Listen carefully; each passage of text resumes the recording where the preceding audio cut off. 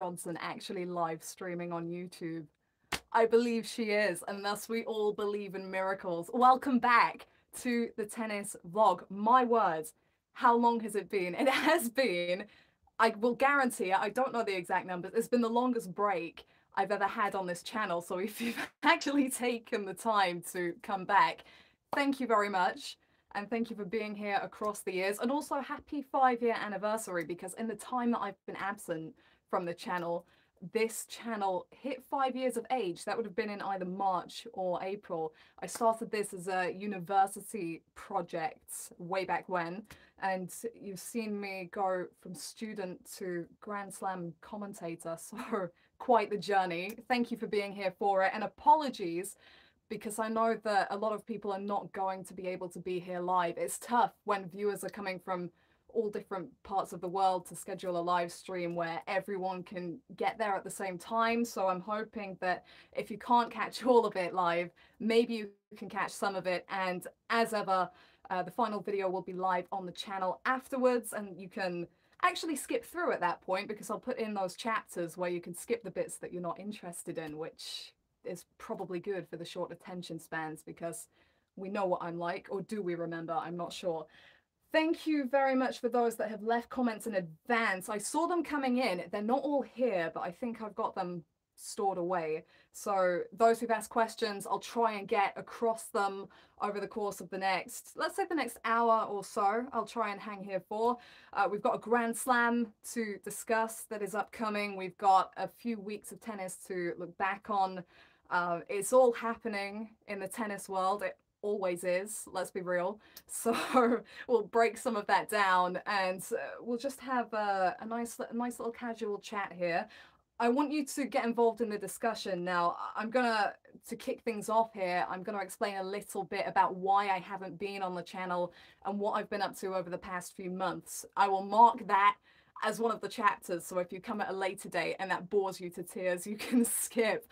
But just so anyone who doesn't follow me on social media knows where the heck I've been, I'll get that out of the way first and foremost, and then we'll uh, get to discussing uh, the, the, more interesting matters, let's say. Um, if you can confirm as well that you can hear me, as always, it's a new device again. You can't trust me with anything. My other phone went to pieces, so let's see if this one holds up. Time will tell. Keep those comments coming in. I'll be getting across them, don't you worry. And a little bit on where I've been then. So I was last with you, I believe, at the end of last season. I actually put up a video on Emma Raducanu and Paula Badosa, who both scored big titles, and I'd watched them compete at an ITF event a couple of years prior.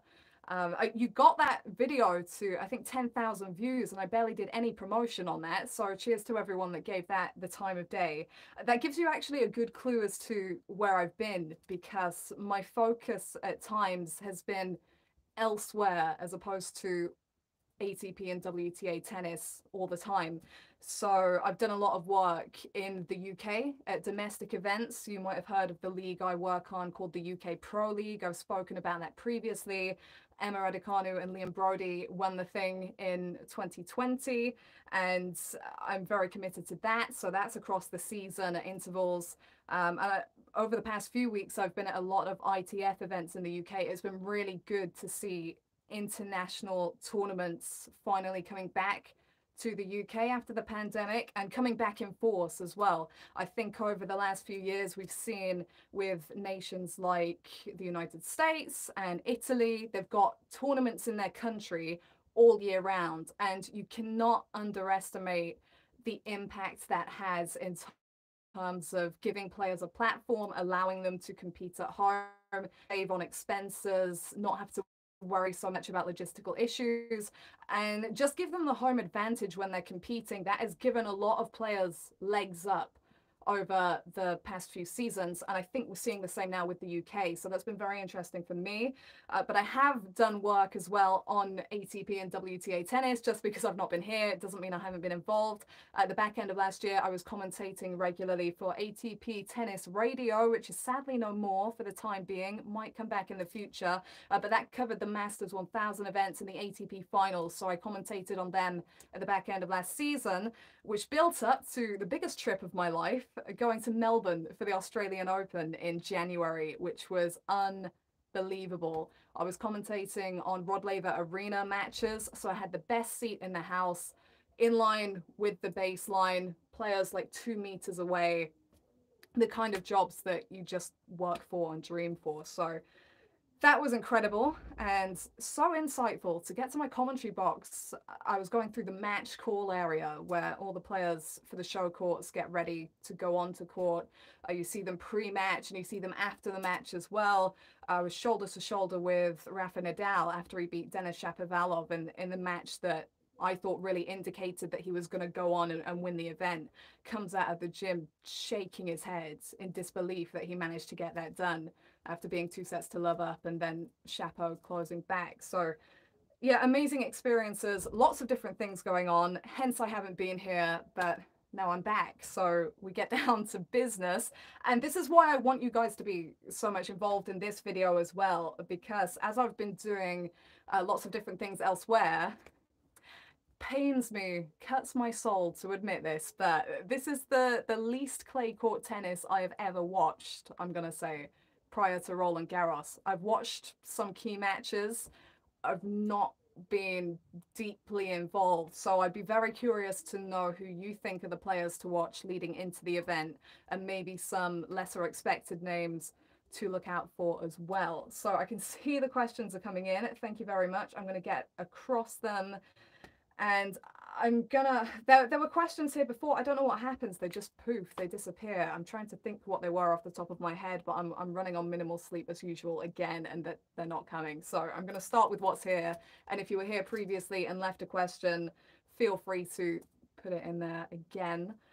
What have we got? Thank you to everyone who's come back and who's been here over the years. Uh, do do do do do what other tournaments would I like to tick off my list? Uh, I, I can't say 100% for certain what I'm doing because the whole thing is carnage at the moment, as we know, but I should be working on Wimbledon in a broadcast capacity. I will let you know more in time. And if you want to stay on top of what I'm doing, you should follow me on my social media. So at Abigail Tennis on Twitter and Instagram is the one these days, to be honest, if you, if you want to know where I am and what I'm doing, that, that is the place to be. So, plug. Uh, here we go then. Let, let's get down to it. Um, predictions for Roland Garros. We, we go straight in there, do we? Okay, let's go. Uh, fun times. Do you know what? I think it's pretty in terms of actually making a prediction i don't think it's too tough this time around. It's crazy to say that right? Let's start with the women's side. There's been a lot of shifting and changing within women's tennis in recent months. I was gutted to see Ashley barty retire. I, I mean i think she did the best thing for herself. She'd never been entirely comfortable with the whole living out of a suitcase thing, being away from home so much. We know this. And it's actually really cool that she ended things on her own terms the way she did. Uh, just swaggered off with a Grand Slam title on each of the three surfaces and the world number one ranking and finished it at the top of the pyramid. Why the heck not? So good for her. I thought not so good for the tour because up to that point, I'd been saying that the WTA tour is about five or six Ashley Bartys away from being the ideal tour. And then she went, and I'm like, oh, great. Well, now there's no Ash Bartys. Oh, she brought so much. She could carry the target, she could handle the pressure great versatile serve, which routinely held up with her back against the wall, the backhand slice, the aggressive forehand. It was just brilliant, and it looked like it was taking very little out of her. But she didn't have the motivation, so you can't say how many Grand Slams she was going to win more. So eh, there was a lot of weight on Iga Swiatek's shoulders because she picked up that world number one ranking by default, really. Barty opted for her name to be taken off the rankings in steps Swiatek. And eh, there was definitely an asterisk there. there. There were definitely question marks, and she has absolutely smashed them. Full credit to her.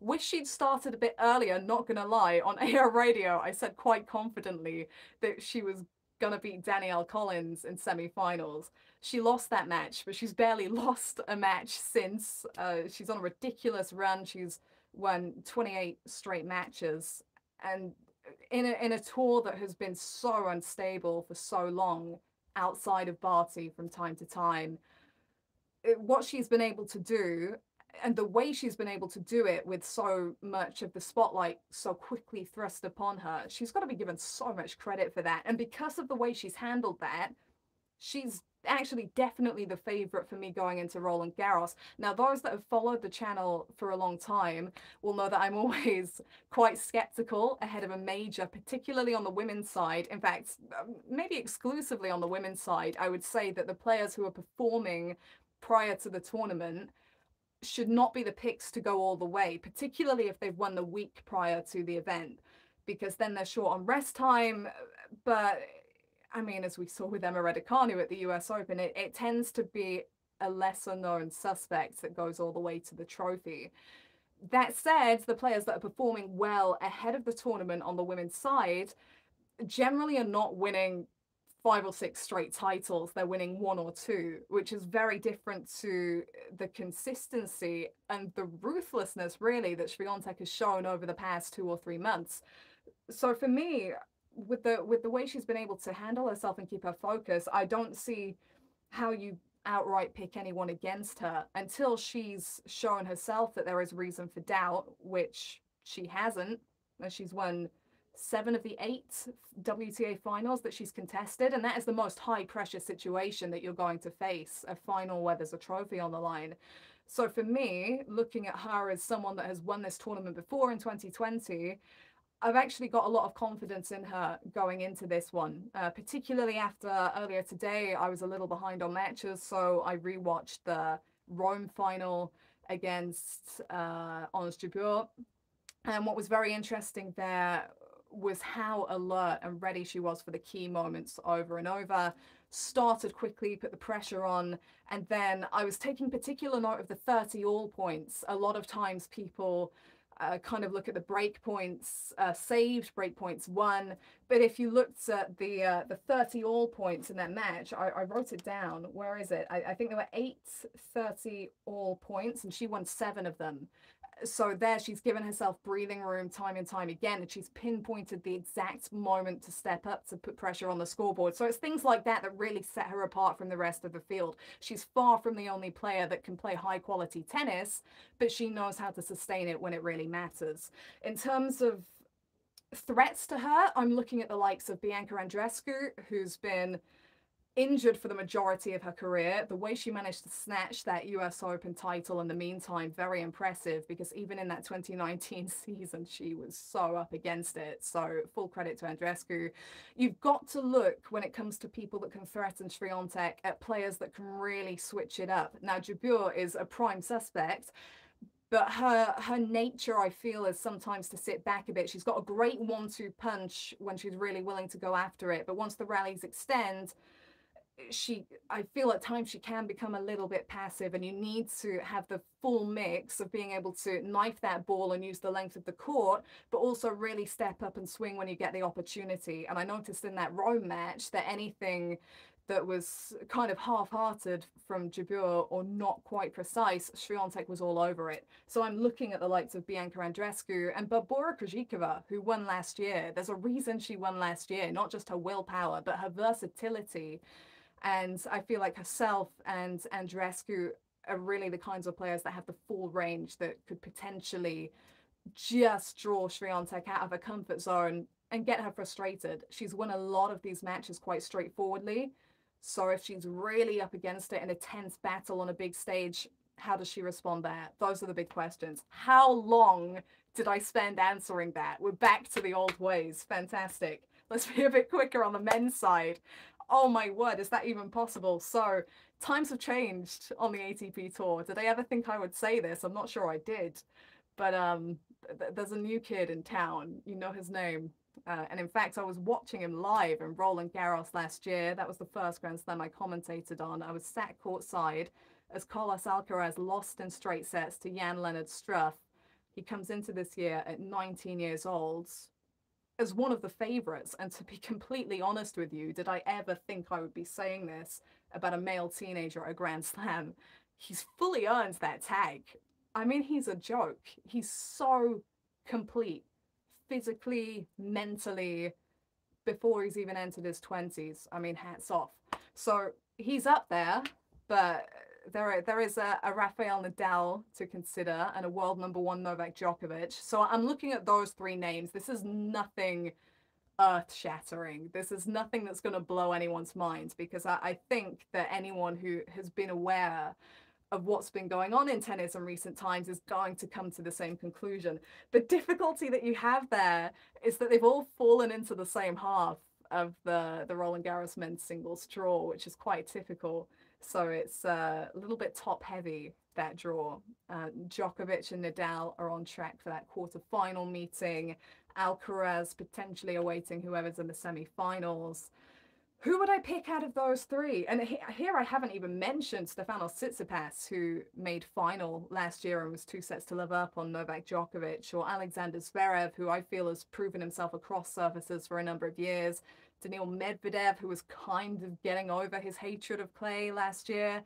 I there are a lot of names to consider. I, the ATP a few years back was getting so much criticism for a lack of depth, which is totally not the case these days. I mean, it's it's an incredibly strong tour that they've got going on, but there are, I feel, three standout names this time around when it comes down to belief mentality and physicality over best of five sets. And it is kind of mind blowing to me that I can say that about a 19 year old because for years I've said that I will not kind of hype anyone up until they've beaten the likes of Federer or Nadal or Djokovic over a best of five set match at a Grand Slam. But bit by bit, Alcaraz is ticking off every challenge that you could possibly set him. He's won all the clay court tournaments he's played leading into Roland Garros. Very smartly skipped Rome as well, just to give himself the time to get ready for the big one. Indian Wells champion. I mean, it's been an incredible rise. Would I pick him over Nadal or Djokovic? I don't know.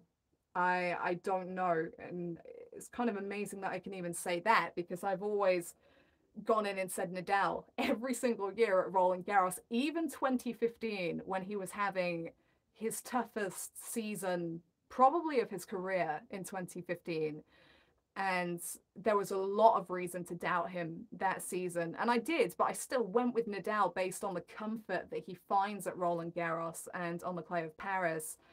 I, I thought well surely he finds a way but straight sets for Djokovic in the quarterfinals.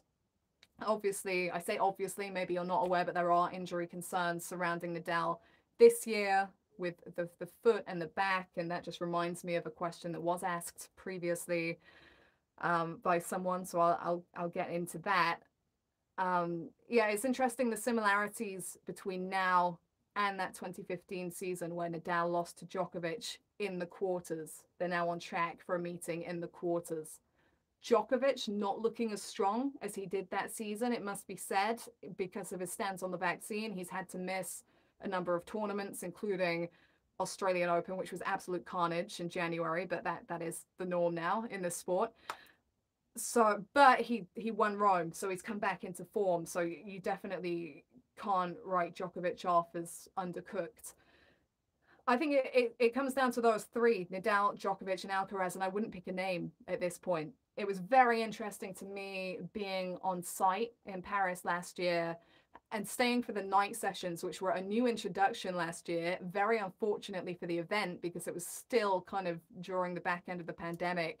And they introduced a curfew in Paris where everyone had to leave the site by 9 p.m. But I was working, so I could stay, and I'd be one of about 10 to 20 people sat on court for Philippe Chatrier watching Djokovic and Nadal and whoever else was playing. It was amazing. Uh, but one thing I noted when Nadal was playing Gasquet, Richard Gasquet, in round two, was how the temperature dropped so suddenly. I can't remember what time it was, but it was between about the hours of, let's say, half nine and half 10, plummeted. And when the temperature dropped, the bite was kind of taken off Nadal's shots. And, and that kind of sent alarm bells for me. And I thought, well, if, if he comes up against the like likes of Djokovic, he could be in trouble. And he was. He was also injured, yeah, but he, he was in trouble. So I don't think that's a good introduction for Nadal. As much as he's king of clay, he does like familiarity, and he has actually struggled in times past when he goes to a venue and expects it to be a certain kind of condition and and it's not that it's either heavier or it's wetter or it's colder and that's when he struggles because we've seen Nadal with his water bottles and lining them up and these little superstitious rituals that he has he, he likes familiarity so it really kind of rocks his boat when he goes somewhere and he expects it to be a certain situation and it's not that said he completely steered the ship to win Roland Garros 2020 when it was in the autumn. But I did just have that feeling about him last season. So I, I think that could be tricky for him.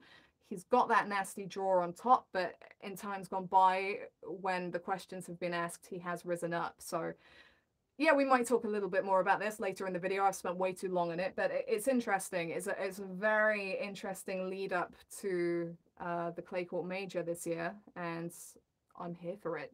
I think it's great the state of men's tennis right now. Okay, so so we got going rather nicely. Uh, thanks for keeping the comments coming in. Keep them coming.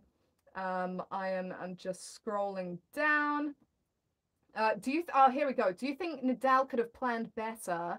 This is an interesting question. By not playing Indian Wells, which caused him an injury, otherwise he would have been in Stefanos Tsitsipas' place in the draw. So Nadal is seeded fifth which is why he's on the same half of the draw as Djokovic and Alcaraz and those guys, um, as opposed to the the Tsitsipas half, which I've got to say there are still some dangers in there for Tsitsipas. I mean, Medvedev was finding his feet. I know Tsitsipas won that semi-final last year, but um, I wrote a few names down. Who have you got in there? Andre Rublev, Jannik Sinner, Miomir Kecmanovic, he was really stepping up uh, across the last few weeks. Uh, and Stefano Tsitsipas opening round, Lorenzo Musetti. So there's a meeting there of the two players who were two sets to love up on Novak Djokovic during the event last season. Arguably should have finished him off. One of them's not going beyond round one, so that's a really interesting opener. But to actually get back, I'm a shambles, seriously. To get back to the question that was actually asked, um, which is, do you think Nadal could have planned better? Look, I, I think that, look, Nadal's in his mid 30s now. You rarely do you find a competitor that's better at planning. I think because he loves the game so much and wants to be around for such a long time, he's been very careful with this stuff over the years.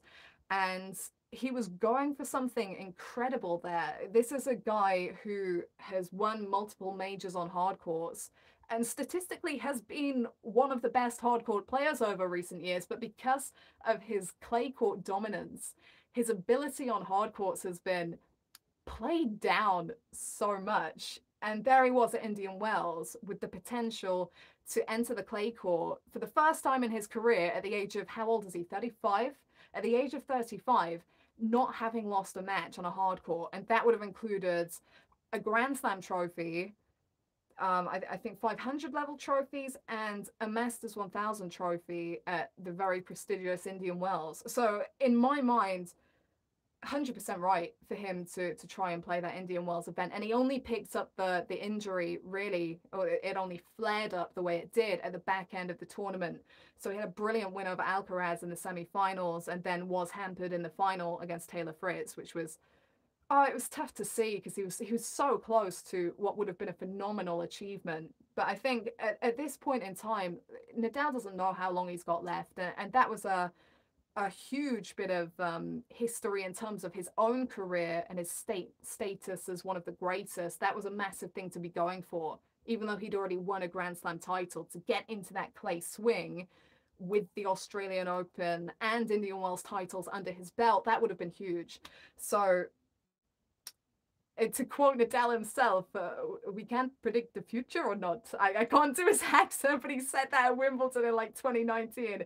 Uh, we, we can't tell what's going to happen in the future. He had no idea that that was going to flare up, and he wasn't going to play Miami the week afterwards anyway. He's smart enough to know that he's not managing two such high intensity events back to back, leading into the clay court swing, which is his forte. So, yeah, it's unfortunate. It's unfortunate that he got injured, but there's no way he could have predicted that. So, yeah, I, I think that he scheduled as best he could. And interesting question, but no, if he was to go back in time, I think he'd do the same again. Really.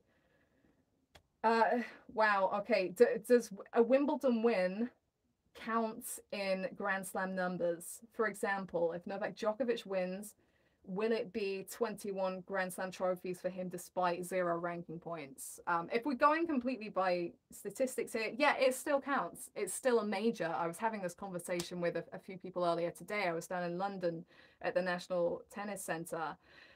Um, yeah, it's still a Grand Slam. It, ranking points do not make it a Grand Slam. Its status as an ITF event is what makes it a major, one of the four majors. So 20 years down the line, ranking points or not, it's still just going to say so and so winner at the championships. That that's not changing. So yes, if Djokovic wins the tournament, he will still have 21 Grand Slam titles, even if he loses the world number one ranking by losing his points. It's a very sad and a very frustrating situation.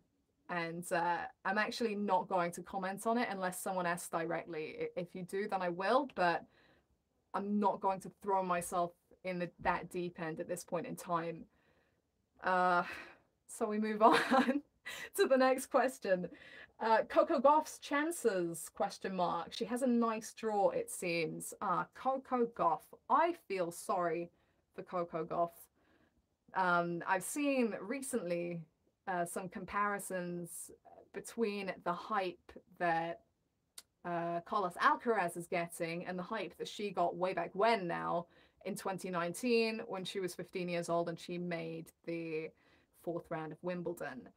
I didn't see those two as comparable at all. Um, Alcaraz, you know, he didn't have the titles at the beginning of this season, but you could see that he had such completeness of physical and mental game. I actually commentated on the match that turned it all around for Alcaraz. I was on ATP Tennis Radio back end of last year, Paris Masters, and he was five love up on Hugo Gaston in the second set, and he lost seven straight games. And the Paris Masters is vicious. I mean, you think Roland Garros can get bad. Like the Paris Masters is an indoor event, so you've got the roof on, you've got an enclosed stadium, and late at night they really give it the crowd. Like that atmosphere is a joke, and it, it can get really quite on top of you. And there's Alcaraz, a young player, relatively inexperienced still at that point. Gaston's gaining. He's probably one player who can really rival Alcaraz for execution of the drop shot, and he was getting in with that shot, and he was watching the Alcaraz forehand come undone. Alcaraz left uh, that match in tears, like he was broken. And I remember saying on the mic, "This result will make him." And he's not been the same player since. He, he lost to Matteo Berrettini in five sets in the third round of the Australian Open. Very, very high quality match, and he's barely lost a match since. Eh, it's been stupendous. My, my whole point with saying that is that I don't see any comparison between Alcaraz and Gauff because eh, Gauff's the, the Gauff hype it was blown out of proportion because she was a 15 year old kid. In terms of the draw that she actually came through to to make that Wimbledon fourth round, hobbled Venus Williams in round one. Uh, what what was it? Um, what's her name? She's retired now. Someone tell me what round two was. It, it began with an M, and the second name might have begun with an R. Uh, was it Niculescu? Was it Monica Niculescu? I don't know, but someone in round two, and then Polona Hercog in round three, which was a match that she should actually have lost. Like Hercog double faulted a match point, and then she got routined by Halep. So Gauff, and this is why I feel sorry for her, and this is what I was trying to say at the time. She was announced way too early. The potential was there, and that's right. She she had a lot of potential, but she was announced as the present when she was still the future, and that put a lot of expectation on her shoulders.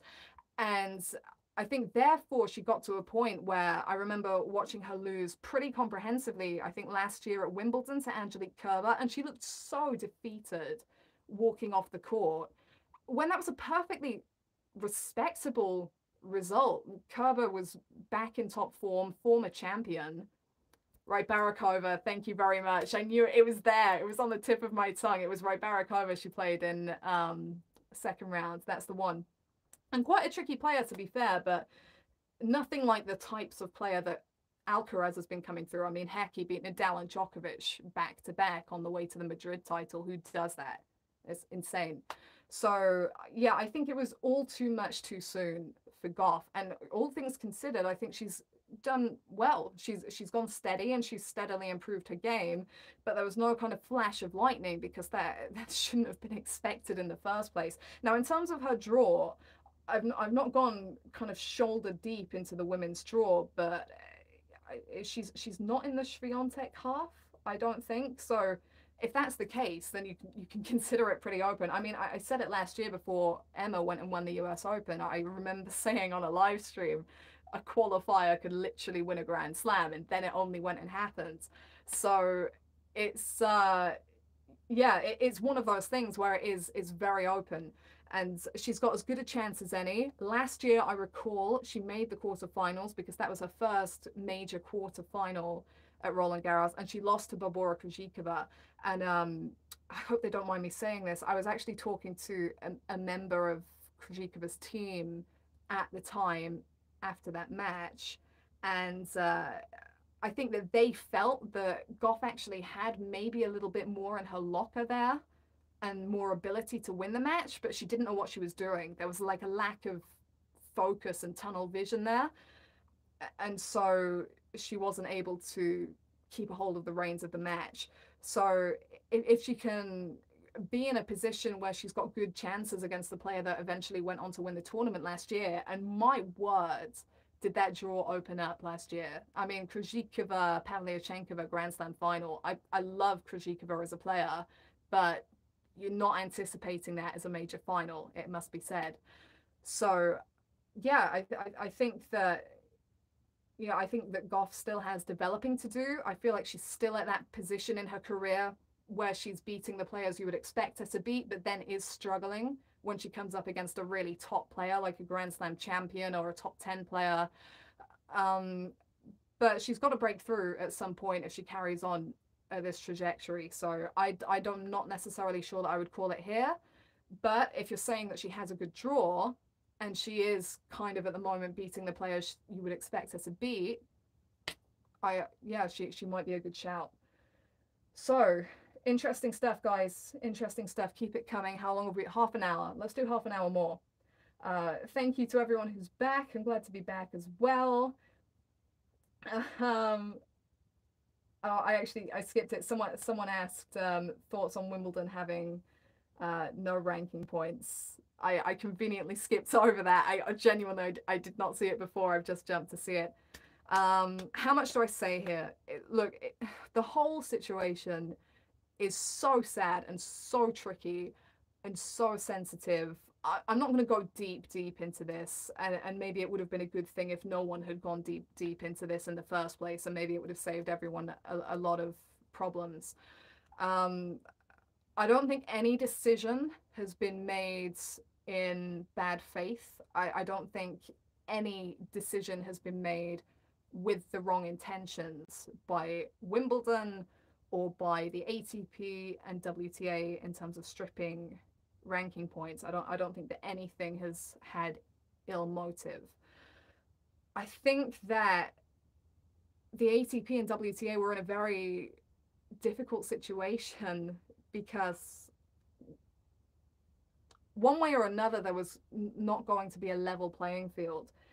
If we stopped at the decision that Wimbledon had made, uh, you've got some of the top players in the world not able to compete at one of the biggest tournaments in the world because of the patch of land they were born on.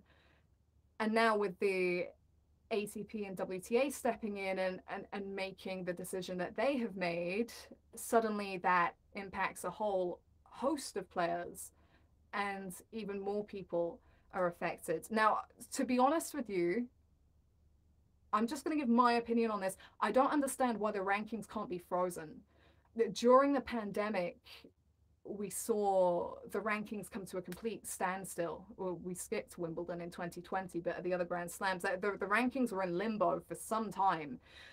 And so I don't understand after we've been through months of that, why the same can't be done again instead of everyone's points from the previous year just dropping off.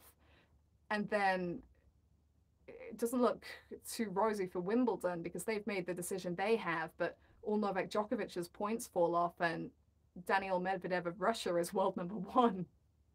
I mean, how does that look? So, yeah, it's uh, it, it's uh, it's a very difficult one, and it's carnage, and we've not heard the end of it. But I, I just think it's very disappointing that one of the most prestigious events in the world now doesn't carry any ranking points, and it will still carry the prestige, like I said earlier in the in the stream. Twenty years down the line, whoever wins this event on the men's side and the women's side is still going to be a Wimbledon champion. But in terms of now, not only is the playing field not going to be level at Wimbledon, but the play, playing field going forwards is not going to accurately um, reflect the status of the tour either. And that's a problem. That is a problem. So, yeah, it sucks, is the, the long story short. Uh, where are we at now? Where are we at now? What are your thoughts on Miomir Kecmanovic? Now, um, I, I, watched a fair bit of Kecmanovic actually uh, towards the back end of the hard court season. That was when he really started to pick up and get going. Uh, he's a very awkward player to go up against. Uh, he's got a lot in his locker. He was a very good junior. I, it took a little bit of time to transition. I don't know how much injuries and stuff kind of played a part there, but he I I've actually got his name written down when I was looking through the men's draw earlier as a player that can can be quite dangerous. So the names that I wrote down as names that you, you want to keep an eye on in that bottom half of the draw are Medvedev, Tsitsipas, Shapovalov, Ruud, who opens against Jo-Wilfried Tsonga, who's in his final tournament of his career. So it would be amazing for him if he can launch an upset there, having been to semi-finals here before. Uh, Rublev, Sinner, and Kecmanovic. So yeah, he's. I think he's definitely um, wants to keep an eye on as I, am not putting him as down as someone that can go all the way to the trophy, but he, he's definitely someone with the potential to to cause an upset. So yeah, that's my that's my thoughts on him. And that that actually just reminded me of another comment that was left here previously, which was who your dark horse picks for the event. And that was a confusing one for me actually, because I don't I don't know how do you pick dark horses at this point Eh, with the way things are in the tennis world, what classifies as a dark horse? If you look at the women's side, it's so open. There are so many contenders that I don't know how you can go down a step to someone that wouldn't be counted a lead contender but has the potential to do some damage. Maybe we're calling Iga Swiatek the the one contender and everyone else that has potential chances as a dark horse. I don't know. Um, on on the men's side, I mean, are you dropping down to your Stefanos Tsitsipas's and Alexander Zverev's? Because Tsitsipas was a, a, finalist last year. So to call him a dark horse, I don't know, it was Stan Wawrinka a dark horse when he won the thing in uh, 20, 2014, the year of the terrible shorts? That was 2014. Yeah, 2014. Because um, that that's probably the kind of uh, level that I would put Tsitsipas at um, the the place, the position that Wawrinka was in uh, last year, not last year, my word, 2014. Uh, in that you know he wouldn't have picked him to win the event, but he was very capable on clay and had had decent results on clay ahead of time. So yeah, I just find it very difficult to actually identify at this point in time what a dark horse is. So if anyone has thoughts on that, uh, let me know what you think and who you would put in that category because I myself really not sure to be completely honest. Uh, what's my opinion on Novak Djokovic being anti-vax? You really want me to get controversial here, don't you? I hope the viewing figures go up with this. um, my opinion on Novak Djokovic being anti-vax. Do you know what? Okay, do you know what? I think that if Novak Djokovic who is someone that has always been very careful about what he puts into his body and how he treats his body, who's felt bad in the past over having a simple surgery and that kind of thing, has always been very careful about what he eats and what he consumes. If he has real concerns, if he has real concerns about this vaccine, and he's willing to take the consequences that come with that, that come with not wanting the vaccine, and therefore he's banned with the events, and he's okay with that, as he was in Australia, then fair play to him, and actually respect to him for standing by what he believes in a day and age full of I don't know, cancel culture and everyone coming at you and, and trying to chop you down. Um, I, I, think that you know what, if if he's willing to to take the fall and he he knows what he's doing um, in terms of making that decision for himself as someone that has very publicly been very concerned with what he puts into his body over the years you do you is is what i say so um yeah, that that's my thoughts on, on Djokovic and the vaccine. But that has been shoved out of the headlines uh, by everything that's happened in recent times. The the tennis world moves quickly, as does the rest of the world. Um, if Nadal plays Felix Auger-Aliassime in the fourth round, who will Uncle Tony root for? He's Felix's coach, but Rafa's uncle. Um, yeah, I think he it's win-win for Tony Nadal, right? But actually, I do remember that when he became the coach of Auger-Aliassime, it was under the conditions that if Auger-Aliassime was to play Nadal, then Uncle Tony, as he's known, would take a step back for those matches, so he wouldn't be directly involved. Now, I don't know if that changes now that he's been with Auger-Aliassime for the length of time that he has, but it's in my memory that that was the condition of the partnership in the first place, and something that I mean, Auger-Aliassime is one of the top players. He's got other people in his team. So he doesn't necessarily, he, I mean, he'd love to have Tony Nadal there and get that insight, but he doesn't need it. So I understand that that would be the situation if they were to face off.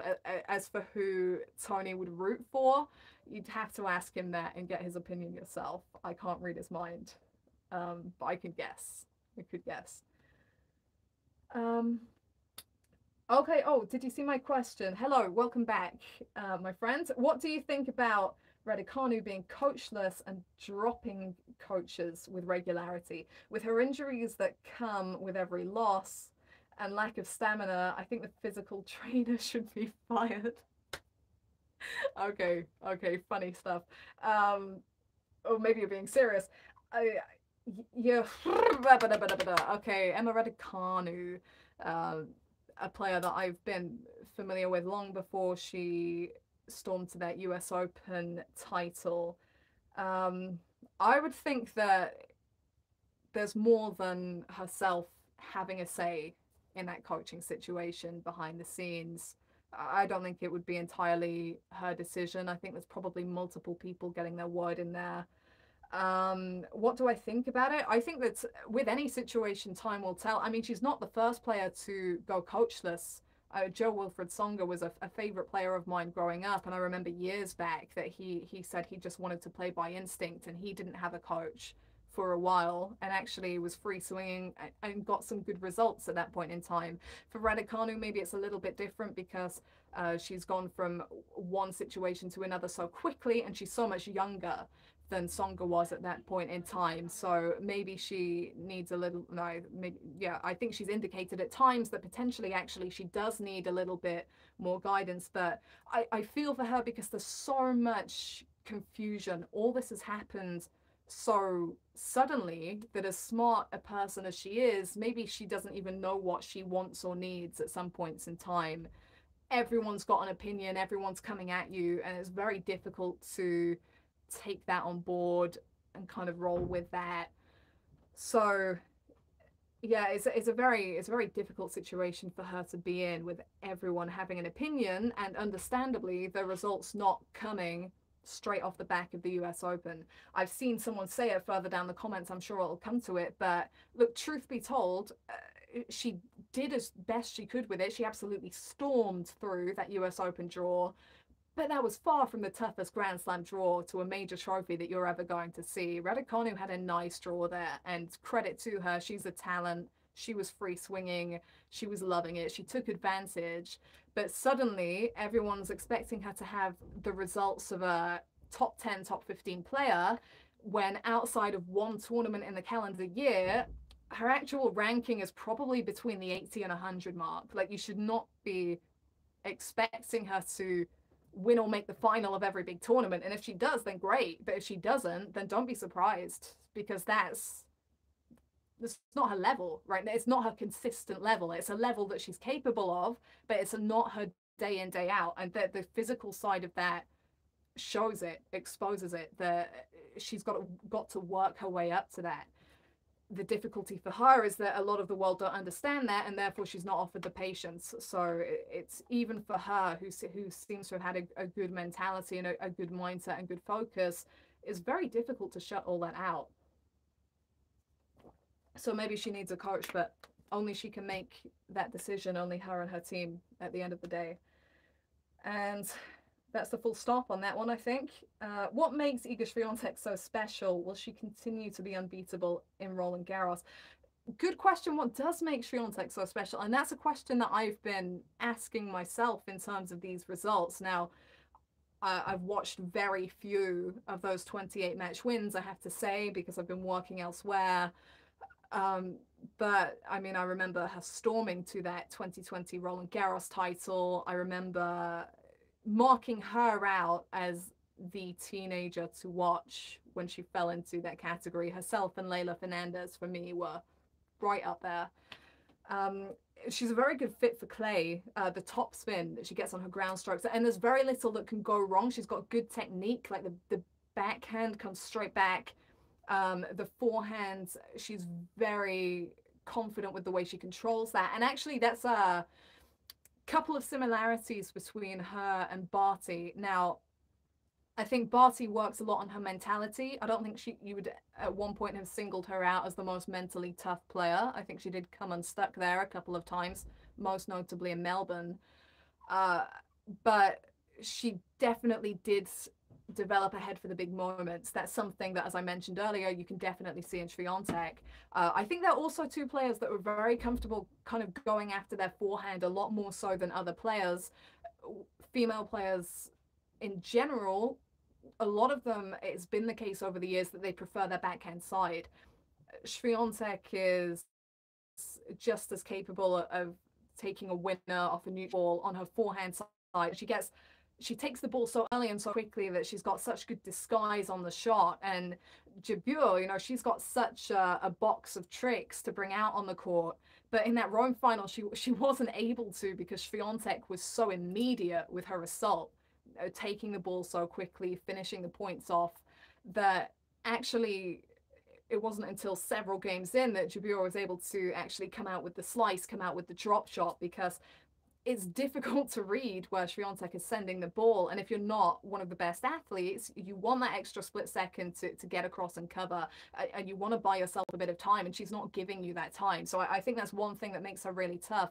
The fact that she's got so much disguise on her shots and the fact that she can pull winners out of nowhere and the way she hits reset so quickly and so well uh, disappointment. She gets over them quickly. And I sound like a stuck record. Maybe that's why I left this channel for a while because I'm giving myself a headache. But when you get to this level of the game, it is so much more about what's between the ears than what's coming off your racket time and time again. I mean that that's what controls it. It's the mentality that that really separates players. A, a lot of them maybe more so on the ATP side but, but but a lot of the WTA players can, can do a lot of the same things. Like I, I think that players that are more one-dimensional are starting to get exposed, but you know everyone can hit forehands and backhands, but when do you hit them? When do you land them?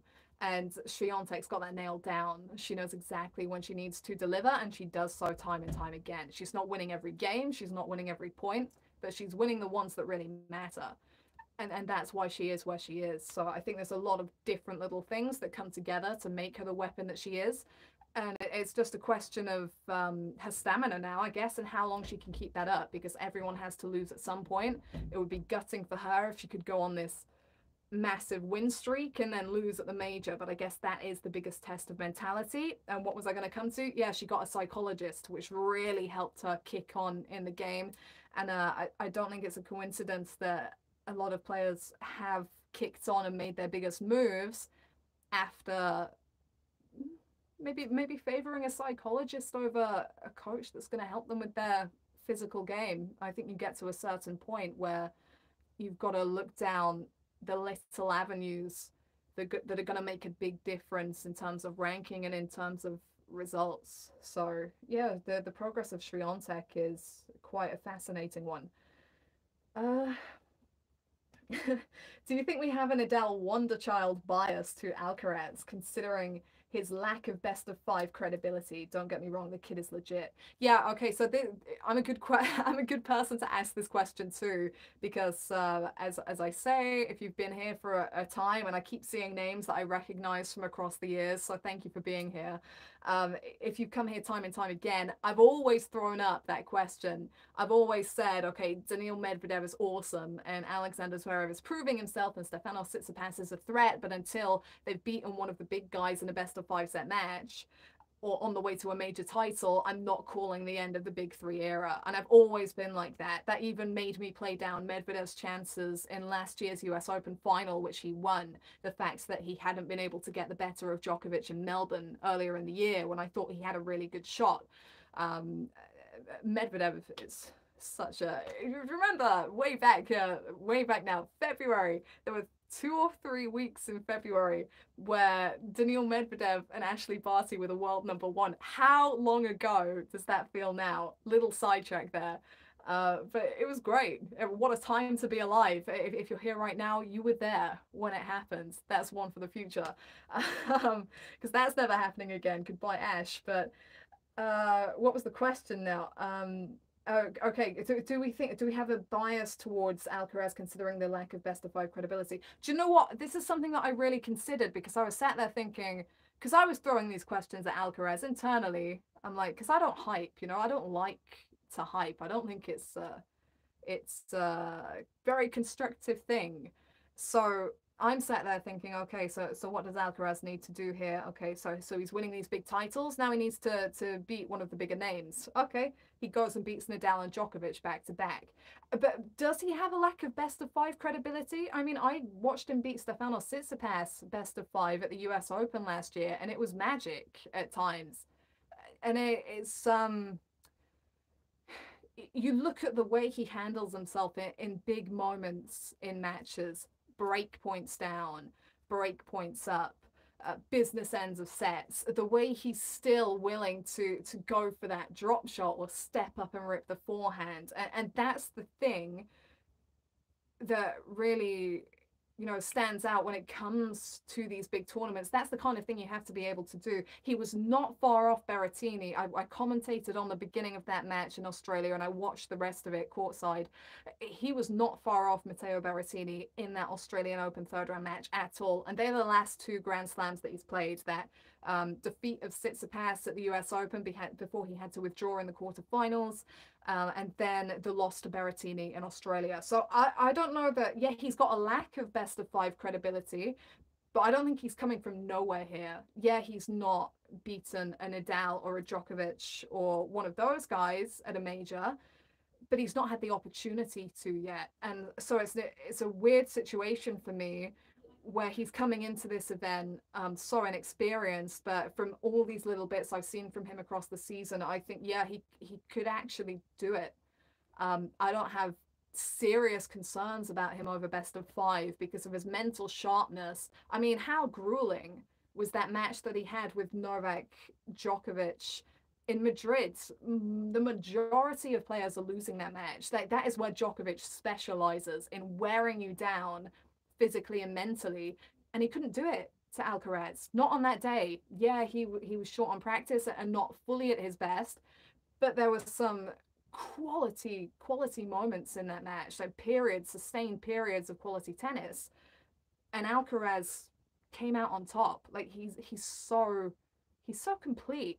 So yeah, I I think that yeah I I I don't think there's a bias there with Alcaraz. I think that he's proven himself as much as he can to this point with the opportunities that he's been given. I, I, there's there's no reason for anyone to say that he he can't actually take what he's been doing elsewhere into best of five sets particularly with how um, filled out he is physically. I remember walking past the outside courts at the Australian Open in January, and uh, um, Alcaraz was practicing on the outside courts, and I was like, cool, like he he's you know d- developed. He's a great athlete, as well as these other kind of mental and skillful components of his game. So, yeah, I, I it's crazy, but I, I don't think there is bias there. And I think if ever hype was earned, this has been earned by Alcaraz. He, he's answering every question you could ask of him right now.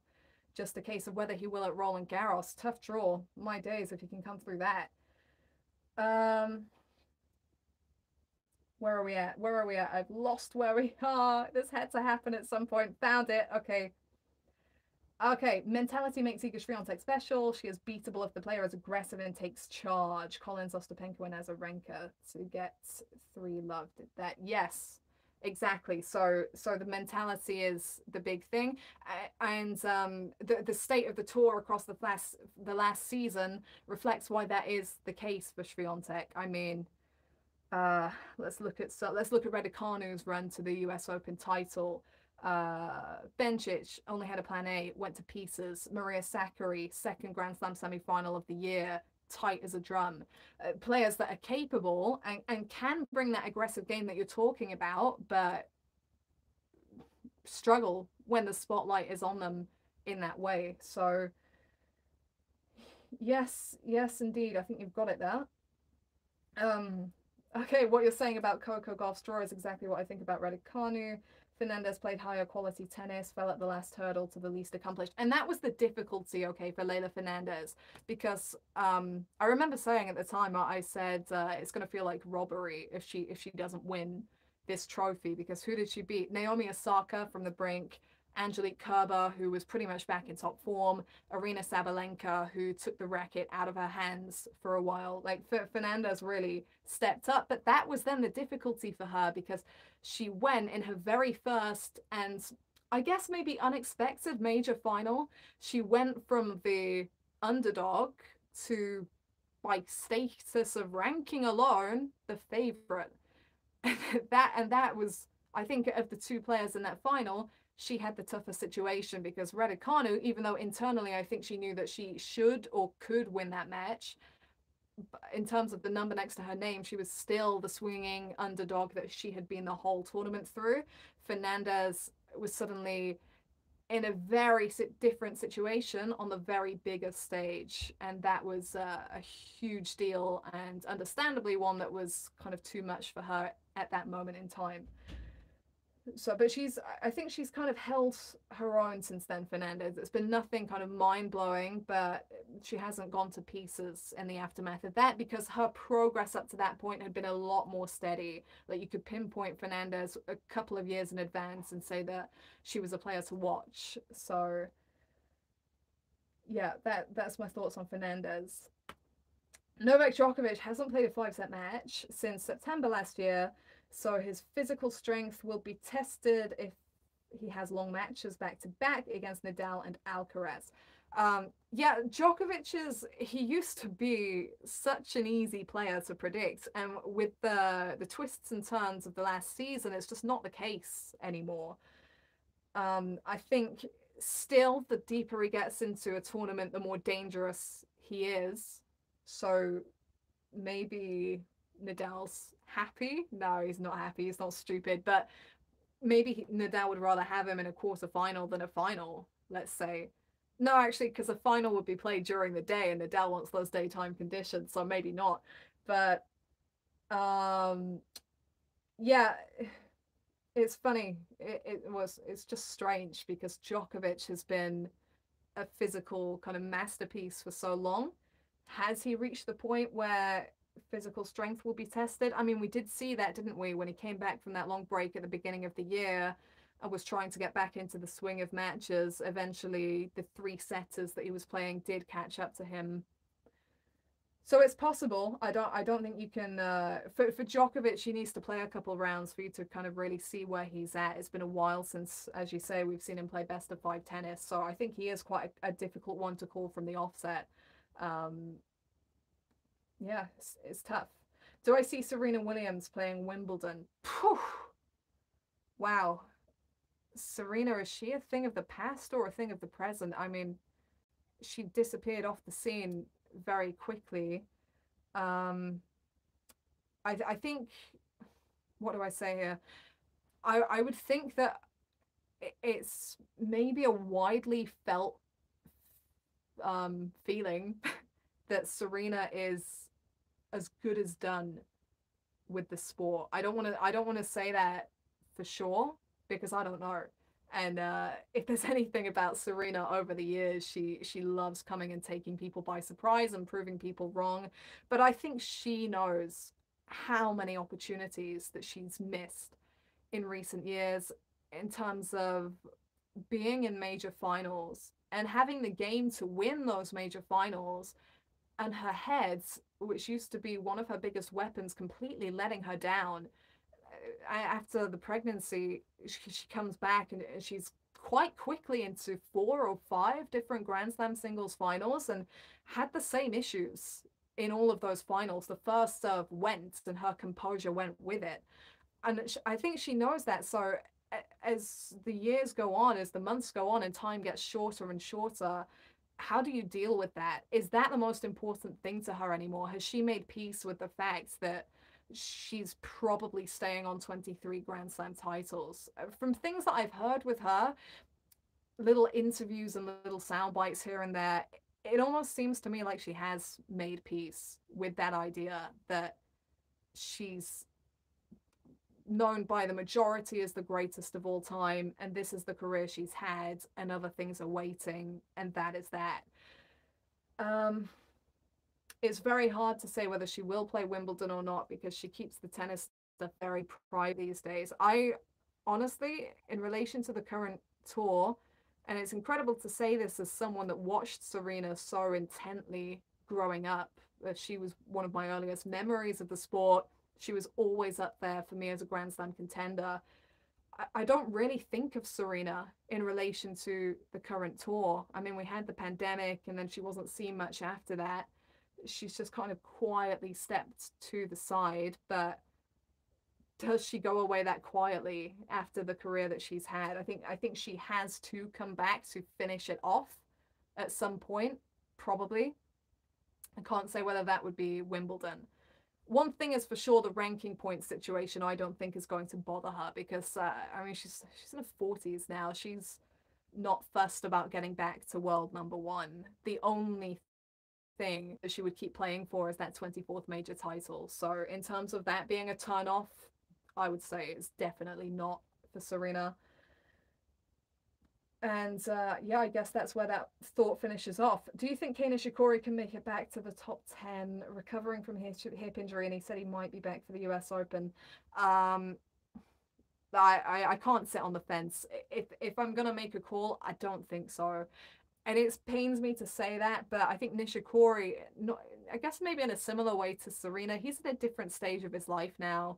Um, he's married, he's got a kid and he he had his oh boy he had his chance really in, in 2014 when he made the US Open final and he lost to Cilic in, in straight sets. I mean, in I guess Andreescu style, he's been hit by injury time and time and time again.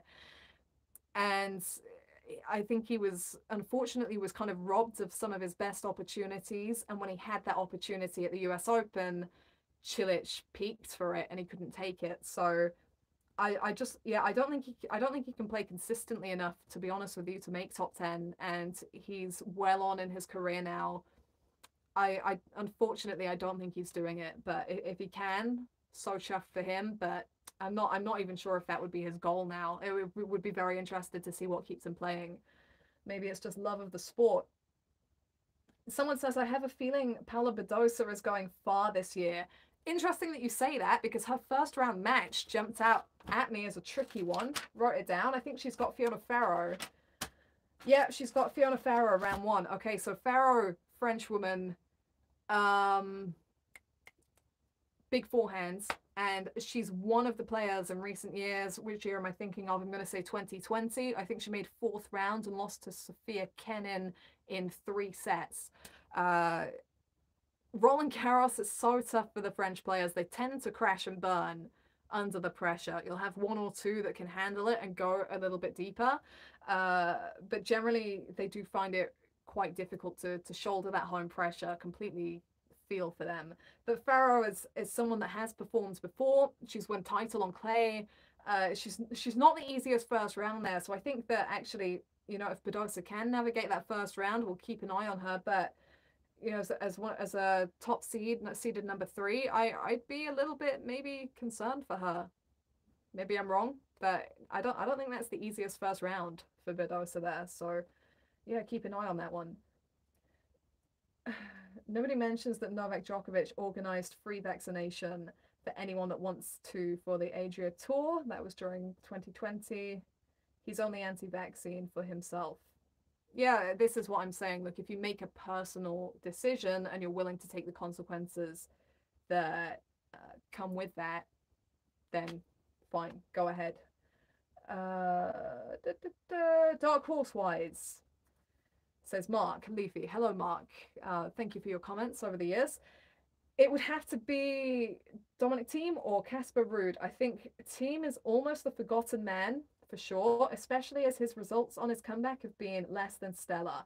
Yeah, and I mean, this is what stops me from naming Thiem, okay? Because oh that it's the it's the most heartbreaking thing. He'd worked ridiculously hard to get up to the standard that he was at at the US Open when he won and beat Zverev in the final in 2020. Not the prettiest final, but you cannot argue with his form leading up to it. And of course, there were nerves there because it was a huge opportunity.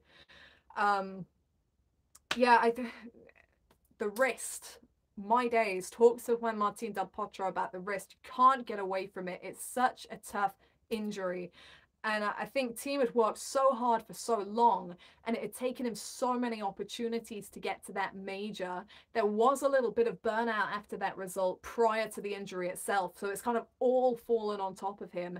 And my goodness, I would love to see him get back to the level he was at, but it is going to be a grind. If anyone can do it, it's Thiem because he's got the willpower and the motivation and the love of the sport. But uh, this really is trash for him. Uh, he I, has he won a match on his comeback? I'm not sure that he has. Maybe he's won one, but I, I think because I've actually a little bit of Thiem coming back just to try and engage that. Um, but he's been getting frustrated because he, he's able to play, but the, the big moments, the rustiness is really showing itself.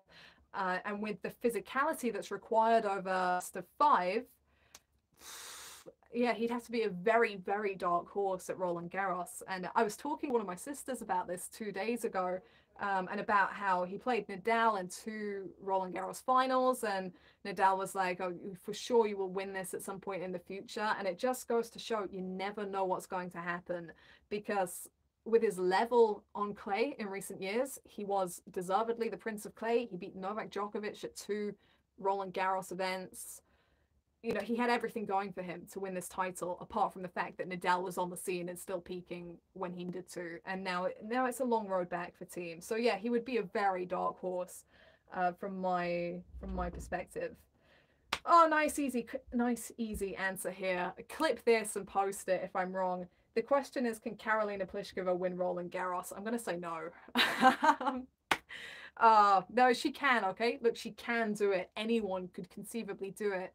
But Pliskova has just been so close for so long. I put her in the in the boat along with Svitolina and I think Aryna Sabalenka is kind of there now, and even Maria Sakkari, players that have kind of been pushing for so long, but there's a ceiling to what they can do on the court, and they always fall at the final or the penultimate hurdle, and before long that becomes a mental block as well as there being a ceiling to their physicality. So look, Pliskova's gone deep at Roland Garros before. She's made semi-finals, so yeah, she she's a little bit of uh, a dark horse, I guess, on clay because you would not necessarily expect it to be the best fit for her game.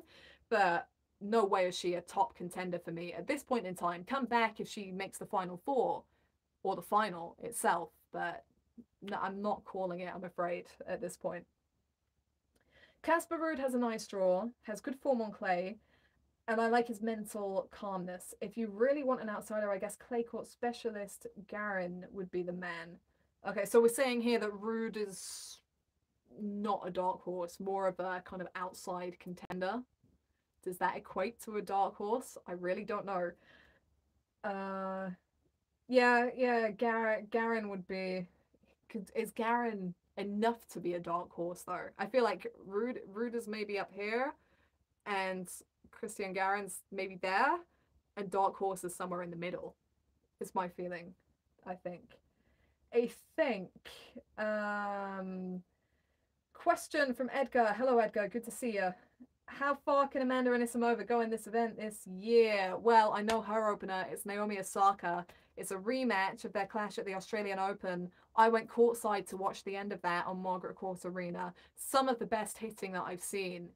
Sheer slow traveling power hitting usually the kind of duel that Osaka would come out on the upper hand of, and yet Anisimova, I've never felt so sure that Osaka's going to lose a match from that position. She had match point, I think, and she was so close, but Anisimova just had total um, focus in the situation and the ability to time the ball so well and absorb and redirect what was coming at her from Osaka and and and make Osaka feel um, feel the moment there and feel the effects of her shot. So I yeah, I think that's a, a really tough opener for Osaka. So if Anisimova comes through that, then I think she she's a contender. I think I think Anisimova is a contender. It's very easy to forget um, with all the hype around other players since then that when she was 17, she made the semi-finals of this event. She absolutely thrashed Simona Halep on the way,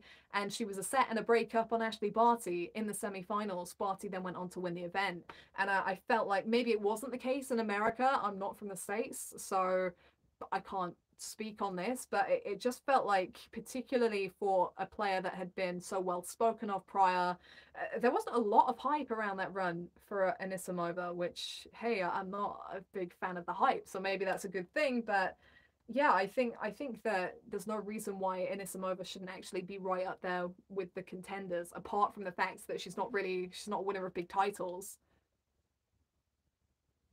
But otherwise, I think she's proven that she can beat all the players that she needs to beat and that she has the game and that her game can transfer across surfaces. So why not? Okay, we're over an hour. We're approaching an hour and 15. I'm going to finish the questions that we have here.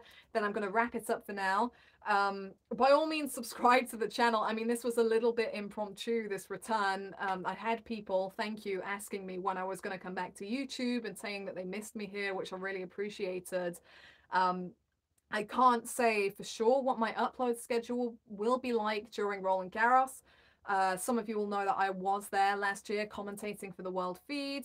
Not the case this year. The team got cut and uh, I'm on the outside, not salty at all. you know, it was a great experience last year and uh, not in Paris this year, which means that I, I have more flexibility to do stuff I'm not sure that we would do a round by round live Q&A like we used to, but there's definitely potential to do an end of week one Q&A or stuff like that. So um, yeah, so if you're interested, subscribe and put the notifications bell on and you'll know when I'm doing whatever I'm doing and, and maybe a prediction or two in the second week. So any chance Taylor Fritz will make a deep run? Uh, depends on his draw. Am I really going to trawl through the draw now and find Taylor Fritz? Because I cannot remember where he... Uh, was when I checked it earlier. Does anyone know whether he's top half or bottom half? If you tell me now, I'll, I'll see it come up. So if, if anyone knows exactly where... Ah, got him! Okay, so he opens against a qualifier. Then he plays a qualifier or a wild card. Now that's quite deceptive, okay? Because you can say that quite casually and be like, oh, win, win. Not necessarily the case. I mean, he's got um, the, the guy he's playing round one, I've never watched the Argentinian, Rodriguez Taverna. Is that poor that I've never seen him play? Shouldn't have admitted it, but so I mean, so I would imagine that he wins that opening match. But um, I mean, the potential second rounds are Michael Mmoh and Zapata Miralles, who are both really capable players. So I think sometimes it's tough when you've got what looks like a more open and a more winnable draw. There's a, the pressure that comes with that and the mental aspects of it gets very interesting. He's also got John Isner on the horizon for round three, and Isner's a clay court underdog. So, yeah, it's a little bit neither here nor there with Fritz, to be honest with you. I mean, heck of a win for him at Indian Wells. Uh, he steps up and it, his forehand is biting and he's got a, a, much more impressive game these days, but I wouldn't necessarily have called him winning Indian Wells. So, yes, indeed, that's where I'm at. Uh, Nadal's forehand was haywire throughout Madrid and Rome. Is it because of lack of match practice or does having a foot injury limit the lethality of his forehand? Well, it definitely limits his movement, okay? And if you can't move, you can't line up for the forehand. So I think that uh, he's not going to make excuses, but it's been a the injury has been this is an injury that he's carried throughout the majority of his career in recent times it's been more intense than it has been previously I, yeah even even though it's the foot and not the hands like everything contributes so i think that would it be lack of match practice for nadal i mean even though he'd not played on on clay he'd played a lot on hard courts leading up I think in a situation like that, there are multiple factors, I think is the bottom line. So that would be my answer there. Your accent seems to have Americanized since I last heard you. Uh, the accent, my friends, is a constant talking point. 80% of people, okay, I don't know what you would say. 80, I would say good 80% of people ask me if I'm Australian or say that I sound Australian. It's beginning to scare me because actually people that I've known since birth are starting to say the same thing. I went to Melbourne, the girl that's doing my PCR test can't believe that I'm not a local. Um, and then American comes up a little bit as well. Um, it's nothing deliberate. I just the more of this stuff that I do, it just I don't know seems to happen. But uh, hopefully it's not annoying. Is all I can say. But enough people have said it that I can't say nothing's happened. It's, uh, keeps coming up. Uh, Kei Nishikori still says he loves to play in interviews. Well, good for him. And if he does love to play, then long may it continue. Uh, would you like to go and commentate in the USA on challenges if there are gaps in UK Pro League? It'd be great with Mike Cation. He's very funny. Uh, Mike Cation's a friend of mine. Shout out to Mike if he happens to be here or wherever he is. Uh, Mike's a legend, so committed to the challenger game, and uh, I know I know he's working on some college tennis at the moment uh, knows his stuff, great, passionate, and uh, yeah, I think myself and Mike and others kind of understand that uh, the level is there at that those kinds of events. They don't have the status and they don't have the money poured into it and they don't have the attention, but the level of play is there and that's something that we want to try and promote. So yeah, if the opportunity ever arose, would love to go to the States and would love to do some challenges. I've done some challenges previously here in the UK um, but we'll see. We'll see what the future holds. And that's a, a nice place to wrap this up. Well, thank you to everyone that hung around. It's been nice to be back. Thank you for joining in. Uh, it's been interesting to kind of hear your questions and, and read your perspectives. As I say, I've been a little more out of the loop leading up to Roland Garros than I, I would have been in previous years, but it's uh, actually going through this has reminded me of some matches that I actually forgot that I had watched and, and things that I have actually been on top of. So it's been quite encouraging for me actually that may, maybe I'm more in the loop than I, I thought I was. One thing is for sure, I'll be keeping on top of Roland Garros and I hope that you will too.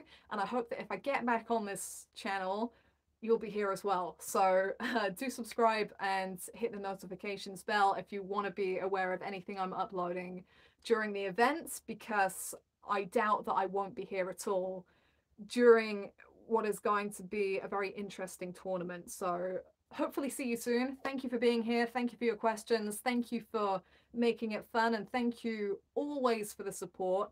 Uh, I don't always get to reply to everything, but tweets, DMs, encouragement, comments, I see them. I appreciate them. Uh, I'm really grateful. So thank you very much. And I'm going to wrap it up the way I used to.